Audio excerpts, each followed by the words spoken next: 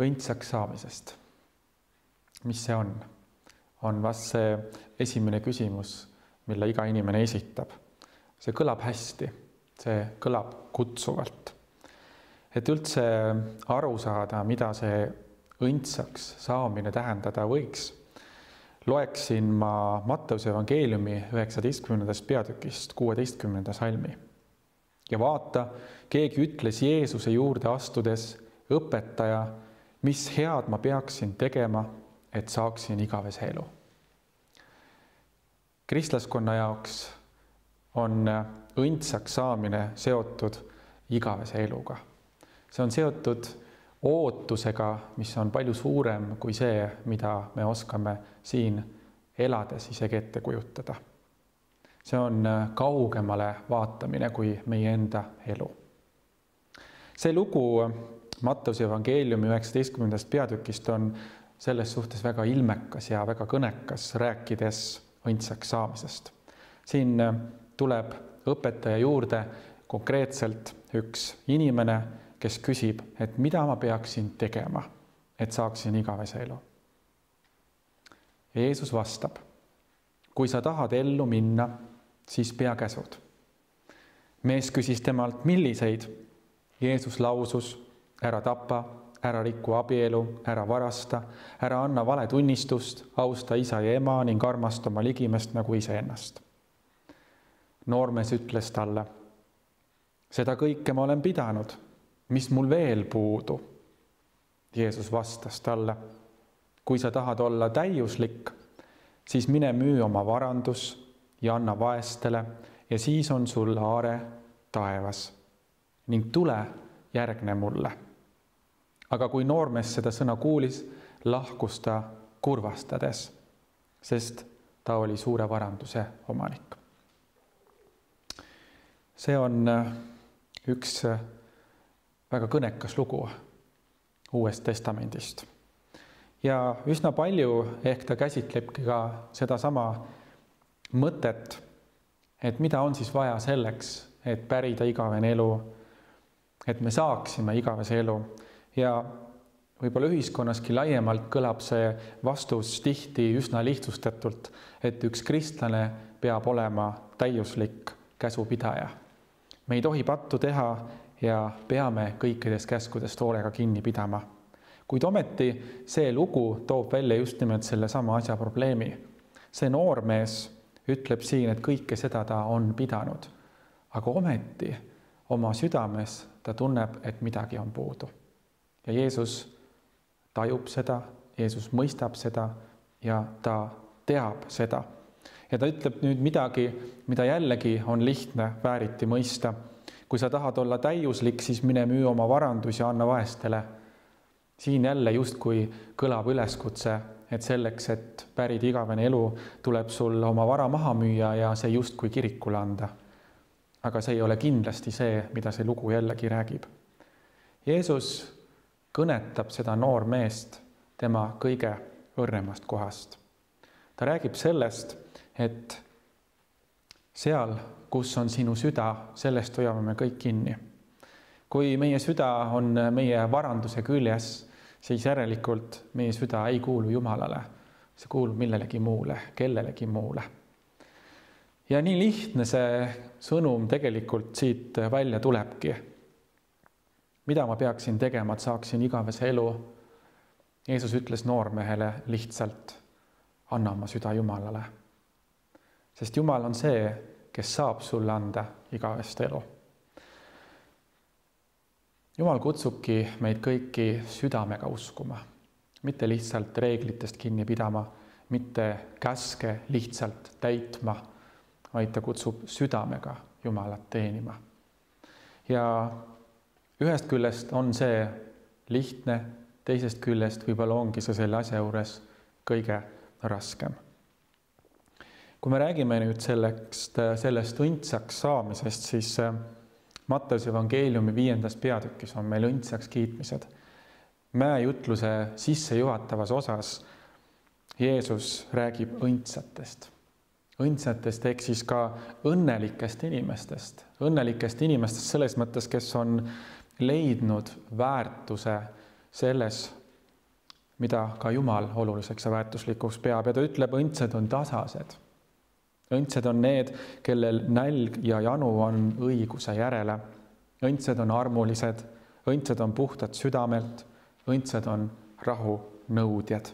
seega, mida siis Jumal õndsaks saamise eest justkui küsib või mis on see, mis õndsuse tagab? Need on tasadus nälge janu õiguse järele, armulisus, olla südamest või südamelt puhas, olla rahunõudja. Need on kõik vägagi olulised ja kallid kristlikud väärtused. siit tuleb küsimus, kas inimene saab siis õndsaks, kui ta palub oma patud Jumalalt andeks? me võime sellele küsimusele vastata kindlasti, et jah, saab, aga me saame uue elu osaliseks Jumalalt mitte sellepärast, et me enam pattu ei tee või et me patud andeks saame, vaid Jumala poolt see antud õndsus on meie eriline kingitus just sellepärast, et oma puudulikkust tunnistades saame me Jumala armu osaliseks. õndsaks saamine on Jumala kingitus. see on eelkõige Jumala and kõigile meile ja pattude üles tunnistamine on selle tulemus, et me tunneme Jumala rahu oma südames, me tunneme tema juhtimist meie elus. Paulus äh, räägib sellest samast teemast väga hästi. kuulus teoloog, keda me paljud tsiteerime ja piiblist loeme. tema kirjutab oma kirjas roomlastele, sest ma tean, et minus, see on minu lihas, ei ela head tahet mul on, aga head teha ma ei suuda, sest head, mida ma tahan, ma ei tee, vaid kurja, mida ma ei taha, ma teen. kui ma nüüd teen seda, mida ma ei taha, siis ei tee seda enam mitte mina, vaid patt, mis minus elab. Eks siin selles konkreetses kirjas Paulus räägib sellest ajatust konfliktist, mis on meie kõigi sees, tahtest olla hea inimene tahtest teha head ja võimetusest meie inimloomuse tõttu siiski teha asju, mida me ei taha teha.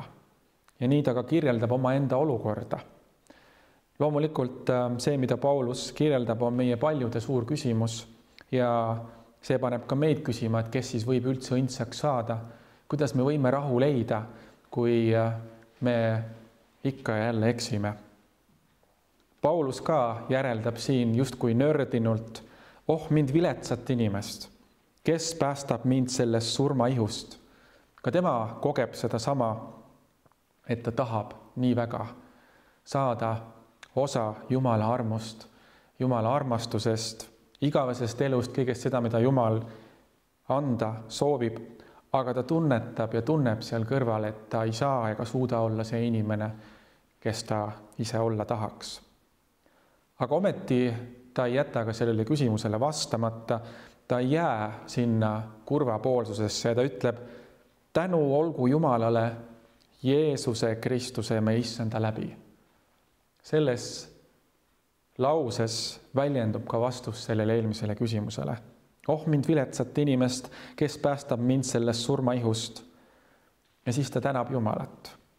Jeesuse Kristuse, me issanda läbi andes mõista, et Jeesuse Kristuse, meie issanda läbi meid päästetakse sellest ihust. Jeesus ütleb Matteuse evangeeliumi üheteistkümnendas peatükis ja kahekümne kaheksandas salmis. tulge minu juurde kõik, kes olete vaevatud ja koormatud ja mina annan teile hingamise. niisiis tulge minu juurde kõik, ütleb Jeesus. see kutse kehtib kõigile see kutse ei kehti üksnes kristlastele või koguduse liikmetele või vähestele välja valitutele. see kutse on mõeldud kõigile. tulge minu juurde kõik, kes olete vaevatud ja koormatud ja mina annan teile hingamise. ja Jeesus Kristus on see, keda me pühakirja sõnade kohaselt usume, loob ka ja annab ka meile selle õndsuse, kingib igavese elu meile kõigile, kes seda soovime üks küsimus, mis kindlasti paljude meeltes mõlgub, on, kas ähm, vaimulikud talitused tagavad õndsaks saamise. kas ristimine, püha õhtu söömaajast osa saamine tagavad meile õndsuse? kas väljaspool kirikut on pääsemist või kirik on see, kes ütleb, et ainult kiriku kaudu on võimalik Jumalat leida. usun, et pühakiri vastab sellele kõige paremini ise. ja antud juhul ma loeksin Vanast Testamendist Miika raamatust kuuendast peatükist kaheksanda salmi, mida peetakse ka Vana Testamendi kuldsalmiks. Tema on andnud sulle teada, inimene, mis on hea ja mida nõuab issand sinult muud, kui et, et sa teeksid, mis on õige, armastaksid headust ja käiksid alandlikult koos oma Jumalaga. ma rõhutaksin siin neid viimaseid sõnu, käiksid alandlikult koos oma Jumalaga ehk mida nõuab issand sinult muud, kui et käiksid alandlikult koos oma Jumalaga.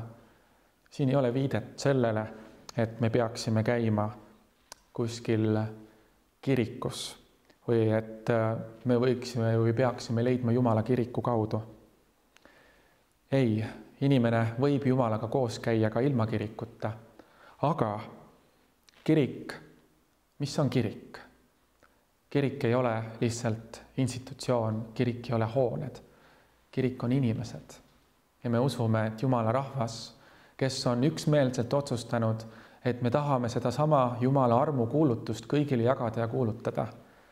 seega, mida kirik teeb, on see, et ta kutsub inimesi Kristuse osadusse.